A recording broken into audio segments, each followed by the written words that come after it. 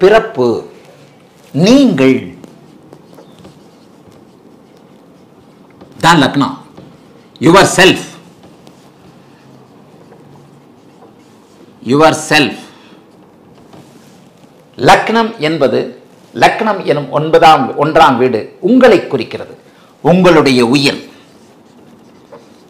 உங்களுடைய உடல் இதெல்லாத்தையும் எழுதிக்கங்க மனப்பாடம் பண்ணிக்கங்க. உங்களுடைய உயிர் உங்களுடைய உடல் உங்களுடைய மனம்.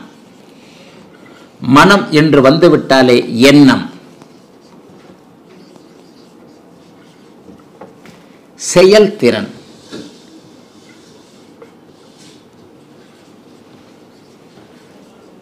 மனம் எண்ணம் சிந்தனை எல்லாம் ஒன்று தான் ஒரே வார்த்தையை வேறு விதமாக சொல்வது தான் மனம் எண்ணம் சிந்தனை என்பது போன்ற அத்தனைகளையும் குறிக்கக்கூடிய ஒரு ஆதி வீடாக இந்த வீடு அமையும். மனம் எண்ணம் சிந்தனை அதைப் போலவே இதன் மூலமாக வரக்கூடிய அந்தஸ்து.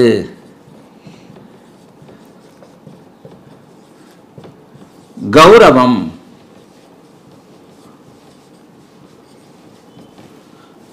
பட்டம் பதவி. இது எல்லாம் இதெல்லாம் என்ன பட்டம் பதவி எல்லாம் பத்தாம் வீடுலாம் சொல்லுவேன். அந்தஸ்து கௌரவம். எல்லாவற்றுக்கும் அதற்காகத்தான் முதல்ல ஒன்று சொல்லிட்டேன். பனிரெண்டு வீடுகளும் லக்னத்திற்குள் அடக்கம். இந்த லக்னம் இயங்கவில்லை எனில் மற்ற எந்த வீடுகளும் இயங்காது. மனிதன் லக்னத்திற்கு உள்ளே நுழைந்து ஒன்றாம் வீட்டில் உள்ளே நுழைந்து பனிரெண்டாம் வீட்டில் வெளியேறுகிறான் என்பதால் அவனுடைய முதல் ஒரு மனிதனுடைய ஃபஸ்ட்டு என்ன? பர்த்து தானே. குழந்தையாக பிறக்கிறோம். அப்படியே வளருகிறோம். கிழவனாகி மறைகிறோம். அப்போ அந்த குழந்தையாக பிறக்கக்கூடிய ஆரம்பம் பிறப்பு என்கின்ற ஆரம்பம் லக்னத்தை குறிக்கிறது. பிறப்பு என்கின்ற ஆரம்பம்.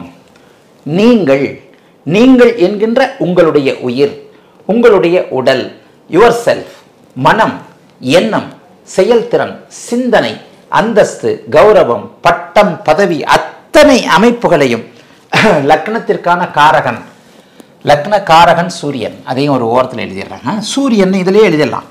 சூரியன் இவர் லக்னக்காரகன் இவர் தான் லக்னக்காரகன் ஒவ்வொரு வீட்டிற்கும் ஒரு காரகம் வரும் இல்லையா?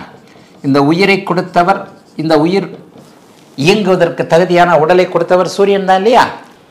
தலை. உடல் உறுப்புகளில் தலை. இதுதான் ஆரம்பம். நம்ம உடம்புல இதுதான் ஆரம்பம். சூரியன் ஒளி நேராக இங்கே தான் படுகிறது. இந்த தலை. இந்த தலைக்குள் அடங்கி இருக்கின்ற மூளை. இதெல்லாம் இந்த மூளையால் தானே எண்ணம் சிந்தனை எல்லாம் வருது? இந்த மூளையால் தானே மனம் எண்ணம் சிந்தனை செயல்திறன் எல்லாமே இந்த மூளையால் தானே வருது. அப்ப உடல் உறுப்புகளில் தலையை குறிப்பது லக்னம் முகத்தை குறிப்பது இரண்டாம் இடம் காதுகளை குறிப்பது மூன்றாம் இடம் அப்படின்ட்டு அதையும் ஆதிபத்திய வீடுகளின் அடி அடிப்படையில் பார்த்துடலாம். ஆக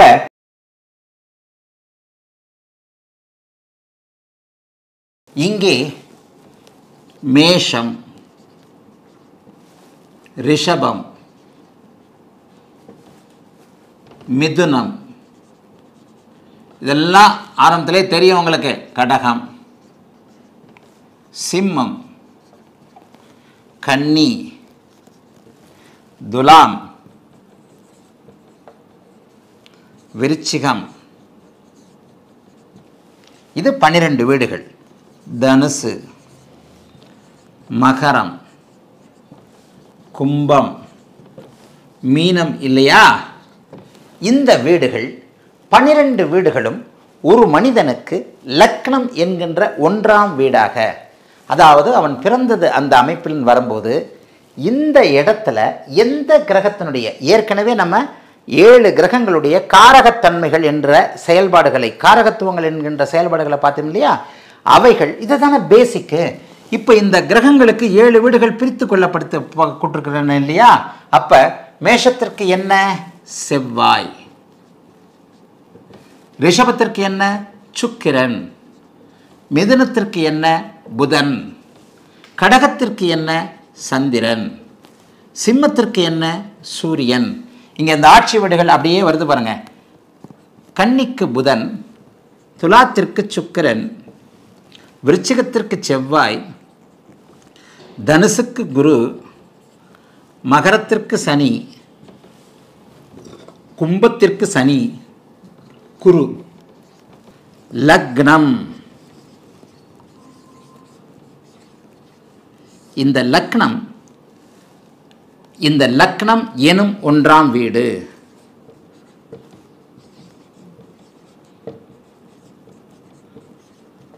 இந்த லக்னம் எனும் ஒன்றாம் வீடு மேஷம் ஆனால் நீங்கள் செவ்வாயைப் போலவும் ரிஷபம் ஆனால் நீங்கள் சுக்கிரனைப் போலவும் மிதுனம் ஆனால் நீங்கள் புதனைப் போலவும் கடகம் சந்திரன் சூரியன் அப்படியே இந்த கிரகங்கள் இந்த ஏழு கிரகங்கள் இந்த சுழல் தன்மையில் தொன்- கொண்டிருக்கின்ற இந்த ராசி வீடுகளின் தன்மைகளை நீங்கள் லக்னமாக கொண்டிருக்கும் போது எவர் ஒருவரும் இந்த பனிரெண்டு வீடுகளுக்கு உள்ளேதான் பிறந்திருக்க வேண்டும் என்கின்ற அடிப்படையில் இதை இதை தவிர்த்து வேறு எங்கேயும் பிறக்க முடியாது என்கின்றதன் அடிப்படையில் நீங்கள் நிச்சயமாக இந்த பனிரெண்டு வீடுகளில் ஒன்றை அந்த பனிரெண்டு வீடுகளில் ஒன்றை அந்த பனிரெண்டு வீடுகளில் அந்த ஒன்றான அதிபதியை பிரதிபலிப்பவராக இருப்பீங்க. இதனுடைய சுபத்துவ பாபத்துவ அமைப்புகளின் அடிப்படையில் அடுத்தடுத்து பலன்கள் நடக்கும்.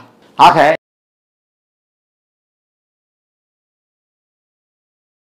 மேஷம் லக்கணமானால் ஒவ்வொன்றும் விடுபட்டு போனால் கூட அடுத்தடுத்து சொல்லும்போது பார்த்துக்கலாம். அவர் ஆண் தன்மையோடு இருப்பார். அவர் சற்று முரட்டுத்தன்மாக இருப்பார். இந்த முரட்டுத்தனம் என்பது லக்னத்தோடு தொடர்பு கொள்ளுகின்ற கிரகங்களை பொறுத்து ஏற்ற இறக்கமாகவும் செவ்வாயின் தன்மையை பொறுத்து கூடுதல் குறைவாகவும் இருக்கும். நெருப்புத்தன்மை வீரம் பா வீரம்னு சொல்கிற இடத்துல இந்த இடத்துல மேஷ லக்கணத்தில் பார்த்தீங்கன்னா யூனிஃபார்ம் சர்வீசஸில் ஆர்வம் மருத்துவம். மேஷத்தின் குணங்கள்னு சொல்கிறோம் இல்லையா? செவ்வாயின் குணங்கள்னு சொல்கிறோம் இல்லையா? டாக்டர் காவலர். போன்ற பணிகளில் அவர் ஆர்வமாக இருக்கக்கூடியவர். முன் யோசனை யோசிக்காதவர் முன் யோசனை இல்லாதவர். முன் யோசனை இல்லை. தைரியம் உள்ளவர். ஆண் தன்மைக்குடையவர் சுறுசுறுப்பு கடுமையான சுறுசுறுப்பானவர். செவ்வாயின் பிரதிபலிப்பு சிகப்பு நிறத்தால் லாபம் சிகப்பு நிறம் விரும்பல் விரும்பல் லாபம்லாம் கிடையாது. ஆக இந்த இடத்துல பார்த்தீங்கன்னா மேஷ லக்கணத்தில் நீங்கள் பிறந்திருந்தீர்களேயானால் மேஷ லக்னத்தில் பிறந்திருந்த ஒருவனுக்கு செவ் ஒருவன் செவ்வாயை பிரதிபலிப்பவனாக இருப்பான். இந்த இடத்துல நீங்கள் அந்த கூட்டு சேர்க்கை என்று ஏற்கனவே நான் நடத்திய செவ்வாய் என்றவுடன் உங்களுக்கு நினைவுக்கு வர வேண்டிய அடிதடி வன்முறை க இப்போ இதில் வந்து சுபத்துவ பாபத்துவ அமைப்புகளை ஒவ்வொன்றா மெதுவாக போவோம். இந்த லக்னத்தை நீங்கள் சுபத்துவ பாபத்துவ அடிப்படையில் புரிந்து கொள்ள வேண்டும். இப்போ இந்த கட்டம் அப்படியே இருக்கட்டும். இவைகள் எப்படி நடக்கும் என்பது சுபத்துவம் பாபத்துவம் லக்கணம் மற்றும் செவ்வாய். இவற்றின்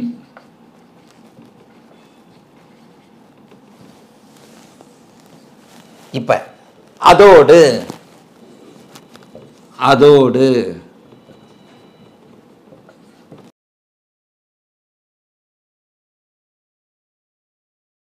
சுக்கிரன் பெண் ராசி. கமெண்ட் போடுங்க. நளினம். கலை. கவர்ச்சி. நேர்மை. நேர்மை தான். இது சுபகிரகங்கள்னாலே நேர்மை.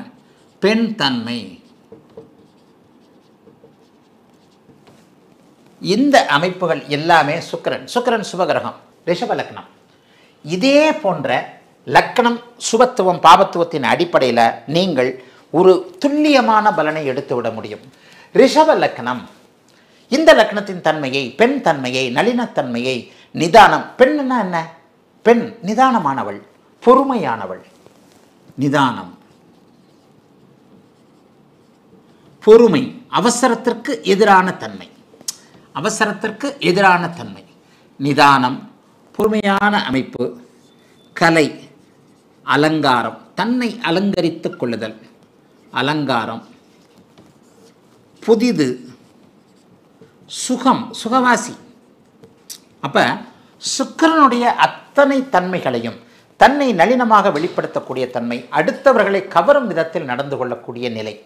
அடுத்தவர்களை கவரக்கூடிய விதத்தில் நடந்து கொள்ளக்கூடிய தன்மை அத்தனையும். சுக்கிரனுக்கு நான் சொல்லிக் கொடுத்த அத்தனை நிலைகளும் இங்கே. சரி இங்கே என்ன ஒன்று ஃபஸ்ட்டில் இருந்து வந்துடுவோம் சுக்கரனோட முடிக்கலாம். இப்போ ஃபஸ்ட்லேருந்து வந்துடுவோம் சுக்கிரன் இது இருக்கட்டும் இது இருக்கட்டும். சுக்கரனுடைய தன்மைகள் இங்கே பொருந்தி போகும். மேஷ லக்கணத்திற்கு இங்கே மேஷ லக்னத்திற்கு இங்கே செவ்வாய் இருக்கக்கூடாதுன்னு அப்புறம் விதிவிலக்குகளோடு இருக்கலாம் என்று சொன்னேன். இங்கே சுக்கரன் இருக்கலாமா இருக்கக்கூடாதா? முழு நிறைவாக இருக்கலாம். லக்னாதிபதி சுபராகி லக்னத்தில் இருப்பது மேன்மை. லக்னாதி அபாகத்துவமாக இருக்கக்கூடாது. அவர் ஏற்கனவே இயற்கை சுவர். சுவர் இல்லையா? லக்னாதிபதி லக்னத்தில் சுவராக இருப்பது மிகப்பெரிய மேன்மை. லக்னத்தில் இருக்கலாம். சுக்கிரன் செவ்வாய் இருக்கக்கூடாதுன்னு. சுக்கிரன் இருக்கலாம். இங்கே லக்னத்தில் சுக்கிரன் இயல்பாக இருக்க இயல்பு. பாபத்துவம் இல்லை சுக சுபத்துவம் இல்லை. அவரே சுபர் அவர் மட்டும் தனித்து இருக்கின்ற நிலைமையில் கூடுதலாக நண்பரோடு புதனோடு இருந்தால் இன்னும் கொஞ்சம் எக்ஸ சுக்கரன் இருக்கலாம். சுப கிரகம் லக்னமாகி லக்னமா லக்னாதிபதியாகி அங்கேயே லக்னத்தில் இருப்பது கொடுப்பினை பெரும்பேறு.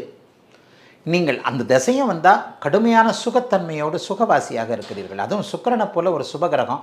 அங்கே லக்னத்தில் இருந்தால் எல்லாவற்றையும் அனுபவிக்க பிறந்தவராக நீங்கள் இருப்பீர்கள் அப்படிங்கிறது தான் உண்மை. எல்லாவற்றையும் அனுபவிக்க பிறந்தவராக நீங்கள் இருக்கிறீர்கள் சுகவாசியாக இருக்கிறீர்கள். அனைத்திலும் உங்களுடைய இது வந்து வெளிப்படுகிறது அப்படிங்கிறது தான் உண்மை. சரி இந்த இடத்துல சுக்கிரன் இருக்கலாம். சுக்கிரனுடைய தன்மைகள் இருக்கும். கவர்ச்சி இருக்கும். கவர்ச்சி நளினம் கலை ஆர்வம் சுத்தம் அயன் பண்ண சட்டை கலை எந்த கலை? அந்த கலையான முகம் கலை ஆர்வம். சுக்கரனுடைய அத்தனை தன்மைகளையும் குறிக்கக்கூடிய ஒரு அமைப்பு. இதில் இருக்கிறதுனால என்ன? அனுபவிப்பீங்க. என்ன அனுபவிப்பீங்க? சுக்கரதசையில் அனுபவிப்பீங்க. நல்ல வீடு அனு காரகத்துவங்களுக்கு வந்துடணும். நல்ல வீடு நல்ல வாகனம் நல்ல மனைவி நல்ல பெண்கள் நல்ல பெண் குழந்தைகள் போன்ற அத்தனை அமைப்புகளையும் லக்னாதிபதி வலுவாக இருக்கக்கூடிய நிலைமைகளில் நல்ல அமைப்பாக அனுபவிக்கக்கூடிய தன்மை.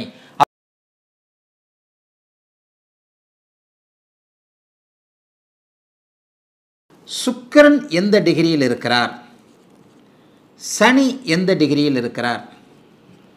ராகு எந்த டிகிரியில் இருக்கிறார்? சந்திரன் எந்த டிகிரியில் இருக்கிறார்? சந்திரனுக்கும் சுக்கரனுக்கு தான் ஆகாது. அமாவாசை சந்திரனோடு சுத்தமாக ஆகாது சந்திரனுக்கும் சுக்கிரனுக்கும் தான் ஆகாது. இங்கே சந்திரன் உச்சமாகவே இருக்கிறார். இந்த இடத்துல தான் பாரம்பரிய ஜோடத்தில் பலன் தடுமாறுகின்ற இடம்.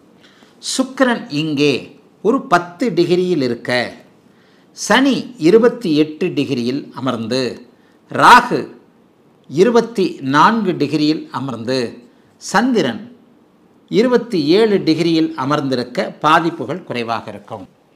சுக்கிரன் பத்து டிகிரியில் இருக்கிறார். மற்ற அனைவருமே அவரை விட பதிமூன்று டிகிரி பதினேழு டிகிரி பதினெட்டு டிகிரி தள்ளி இருக்கிறார்கள் என்கின்ற அமைப்பின் அடிப்படையில்